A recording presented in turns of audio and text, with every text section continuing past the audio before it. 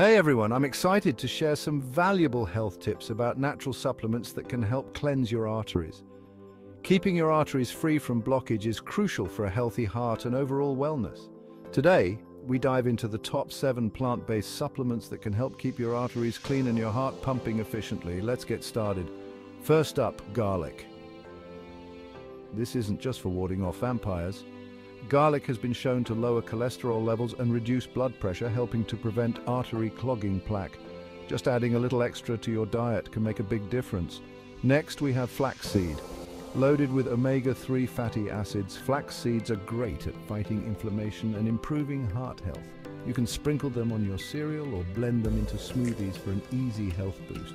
Moving on to green tea, one of my personal favorites. It's packed with powerful antioxidants called catechins, which have been found to decrease cholesterol absorption and improve artery function. A cup or two a day can do wonders.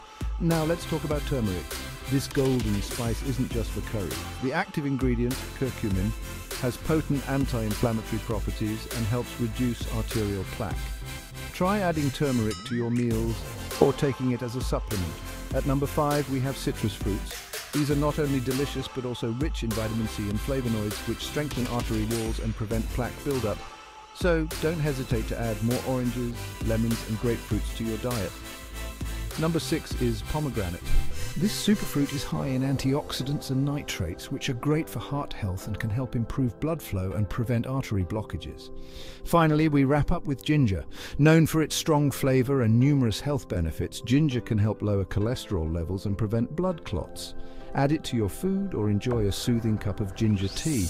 Remember, while these supplements can help, they are most effective when used in conjunction with a healthy diet and regular exercise.